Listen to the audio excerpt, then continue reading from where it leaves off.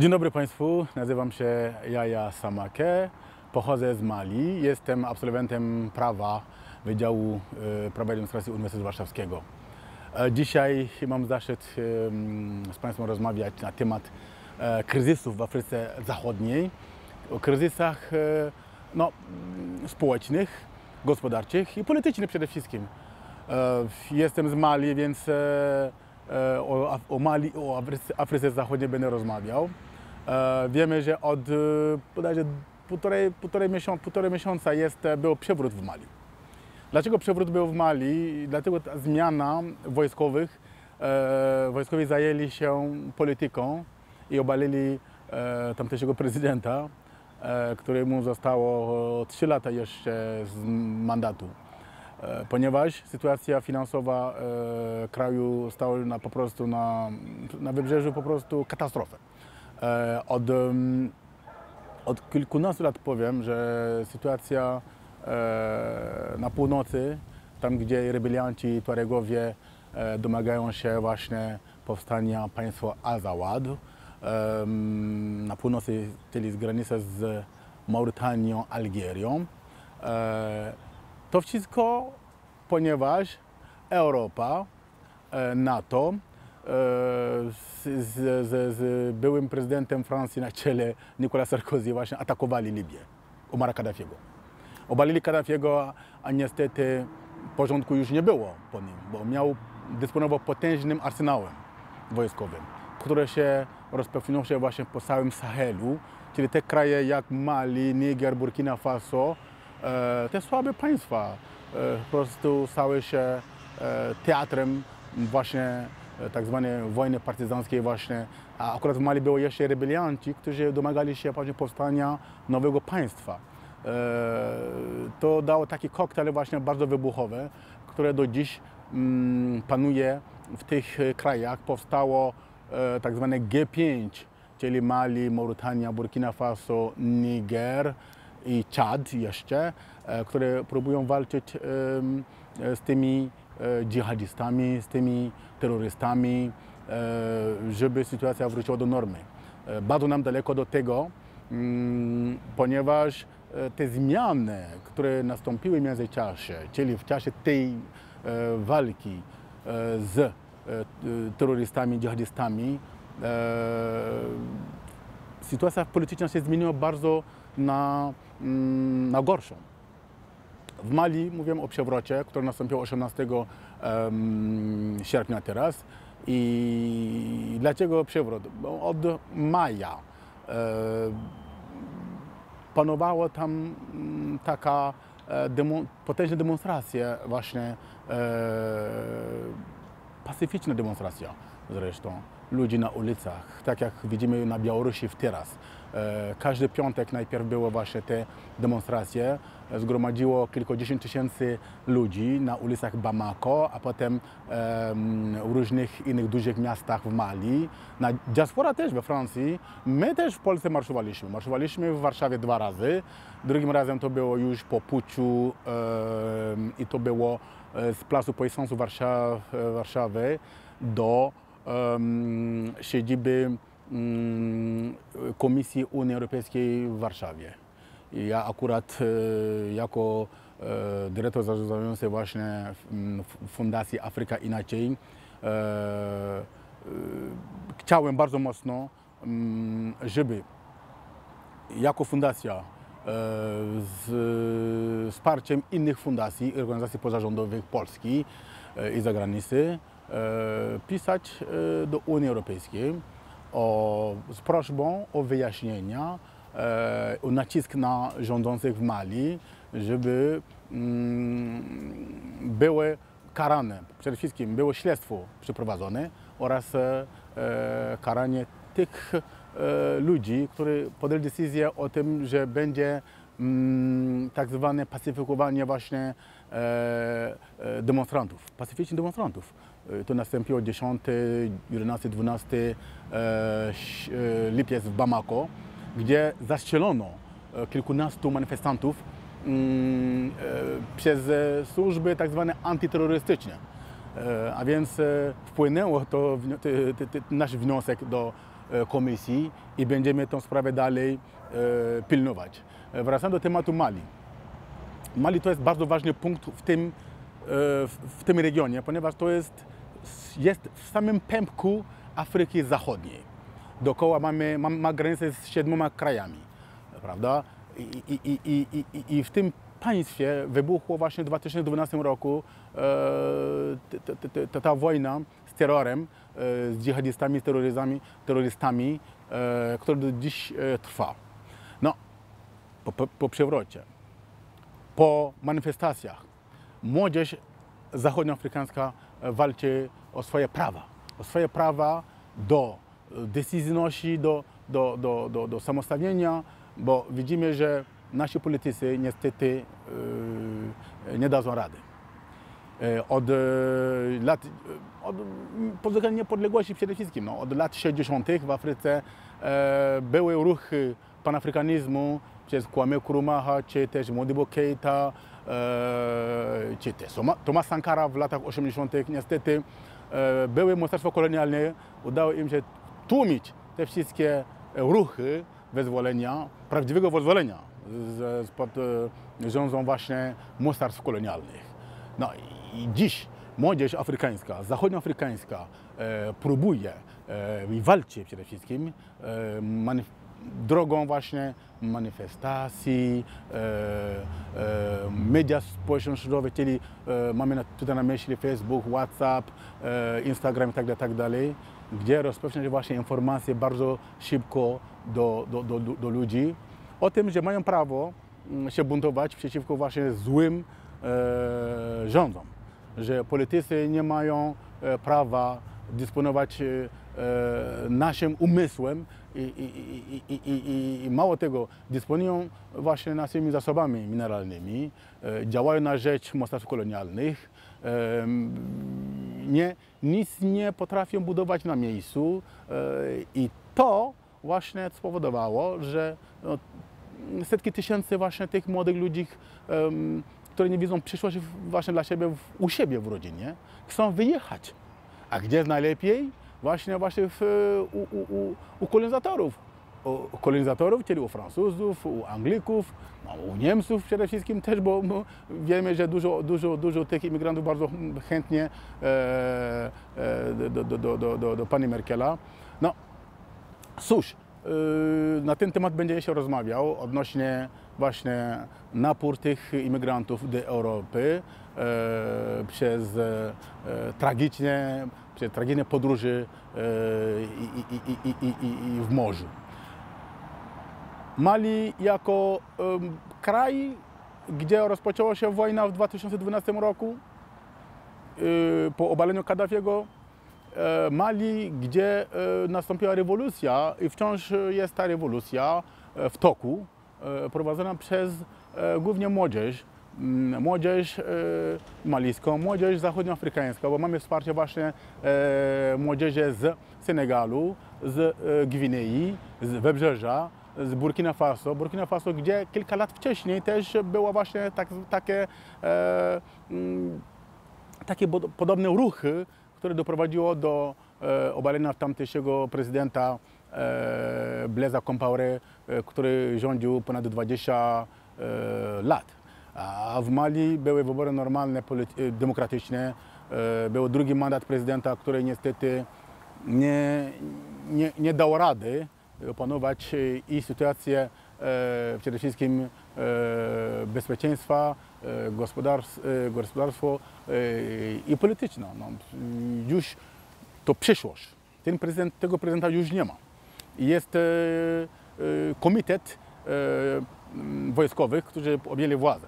No, niestety znowu widzimy manipulacje e, mocarstw kolonialnych, które próbują łapę nad tymi młodymi e, pułkownikami, e, żeby kierunek tej rewolucji jeszcze e, w, zły, e, w złą stronę prowadzić. No. Walczy młodzież, walczy młodzież, mobilizuje młodzież, e, żebyśmy trzymali się kurczowo naszej pozycji. Pozycja to jest e, walka dla siebie i walka dla e, następnych generacji, dla następnych pokoleń. Po Mali jest sytuacja też no, podobna. Nie płeć, tylko że tak zwane polityczną, polityczny płeć, która polega na tym, że prezydentowie właśnie tych krajów, krajów czyli Wybrzeża Kościołowe i, i, i, i Gwinea sobie wymyślili taką taktykę, że zmienią konstytucję, żeby sobie robić trzeci mandat. A więc hasło e, trzeci mandat e, dla prezydentów e, Afryki Zachodniej to też jest e, w tej chwili bardzo mocno omawiane e, w, w tych krajach i, i, i, i, na arenie międzynarodowej. Więc to jest taka forma też właśnie e, przewrotu i puczu przede wszystkim przeciwko demokracji, przeciw e, praw człowieka i, wybory w Wybrzeżach Kości Słonowej są przewidywane w październiku. Niestety już były kilkadziesiąt osób straciło życie w manifestacjach przeciw właśnie trzem E, tymi e, trzecim mandatom e, w Afryce. Wracamy do sytuacji zdezorientowanej młodzieży, która na wszelką cenę w walce o lepszą przyszłość, lepsza przyszłość to w Europie przede wszystkim, bo tak nas, nie wiem, pouczono, nas, nas, nas pokazano, że lepsze życie to w Europie. A więc ta młodzież bez wsparcia na miejscu mm, od rządzących, e, od elity, elita, która dba, dba tylko o siebie, która nie dba o e, swoją e, ludność, ta, ta młodzież musi mm, sobie znaleźć inną drogę. A ta droga niestety doprowadza do Europy. A jak widzimy, Europa nie ma jednolitej polityki właśnie e, migracji, bo widzimy, że niektóre kraje nie chcą przyjąć w ogóle imigrantów, w tym też Polska. E, oczywiście za swoich czasów my jako Afryka inaczej próbowaliśmy um, uruchomić takie projekty, które by pomogło tamtym młodym ludziom zostać u siebie, bo nie ma jak w domu. Nikt e, tak naprawdę e, nie chce opuścić swój dom, swoją rodzinę, tylko e, sytuacja, trudna sytuacja doprowadza do tego, że ci ludzie chcą wyjechać. No, niestety Europa w tej chwili walczy i musi wspierać mm, tych, tych ludzi, tych zdezorientowanych ludzi z Afryki. Czym? Czym? Tak naprawdę według mnie sytuacja wymaga tak naprawdę mm, działanie e, jeszcze z, z, w Afryce. Mm, Europa bardzo dużo przeznaczy na wsparcie, na pomoc dla Afryki. E, I to są miliardy euro rocznie. No, a niestety te, te pieniądze nie trafiają e, do odpowiednich e, ludzi, nie trafiają do odpowiednich organizacji, a więc e, trafia do kieszeni rządzących, do polityków, e, a młodzież e, siedzi i nic nie ma do, do zrobienia. Nieraz, że mało wykształconych, to jeszcze wyszkolonych, no to jeszcze mm, nie ma pracy. Nie ma pracy i, i, i, i tych ludzi muszą jakoś się utrzymać. W telewizji czy w mediach społecznościowych widzą ludzi żyjących w Europie, w Stanach, chcą też właśnie dobrze żyć. Żeby dobrze żyć, trzeba zarobić, a zarobków nie ma. E, e, Europa, wydaje mi się, powinna właśnie swoją politykę bardziej kierować w stronę organizacji pozarządowych, które działają w Afryce, które mogą być bardzo efektowne mm, w działaniach z tymi tymi ludźmi, z młodzieżą na miejscu, czy z organizacjami właśnie kobiet i osób niepełnosprawnych, bo takie, takie organizacje właśnie istnieją, żeby tworzyć jakieś tam możliwości dla tych ludzi, żeby nie opuścili swoje domy, żeby nie umierali po prostu bezsensownie tam w morzu, próbując e, się wydostać do Europy, do, e, do lepszego życia, krótko mówiąc. A więc e, dziś apeluję do, do Europy, apeluję do, apeluję do Polski, do rządu polskiego, o, o wsparcie e, w Afryce, o wsparcie w Afryce. Nie mówimy o wsparciu właśnie dla tych, którzy już dotarli do Europy, ale chodzi o to, żeby przede wszystkim pomóc tam, w Afryce jeszcze. A jak, jaka będzie pomoc? Efektywna pomoc, yy, sprawdzona pomoc, pomoc, która będzie e, koordynowana, która będzie nadzorowana, e, żeby trafiła do sedna, to naprawdę mm, myślę, że to może zatamować bardzo mocno e, ten napór właśnie imigrantów do Europy na wszelką cenę. No i jeszcze temat e, e, Polski w Unii, Polska z imigrantami, Polska z Afrykańczykami, mm, wsparcie mig- im- imigrantów. Mm, Polska jako nie, nieliczny kraj właśnie Europy, y, Unii Europejskiej nie chciało przyjąć e, tych imigrantów z różnych e, powodów. Wydaje mi się, że tutaj powinno być, e, powinno być, powinno by było zrobić takie właśnie e, spotkania, takie mm, w kierunku badania możliwości współpracy z e, Polakami, z pocho- które mają pochodzenia właśnie e, afrykańskiego, e, albo z Polakami, którzy byli w Afryce, które znają realia tamtych e, tych, tych, tych terenów, tych, tych krajów, e, żeby razem współpracować i, i, i, i, i, opracować taki właśnie plan działania, które by pole, e, polegało na e, przyjmowania jednak e, imigrantów e, według ustalonych prawda, e, kryteriów. No niestety widzieliśmy, że e, tego nie było. Mm, Było albo przyjmiemy, albo nie przyjmiemy. A, a więc e, świat dzisiaj e, w świetle globalizacji mm, Polska potrzebuje partnerów e, nie tylko z Europy, ale też z innych kontynentów, w tym z, z Afryki.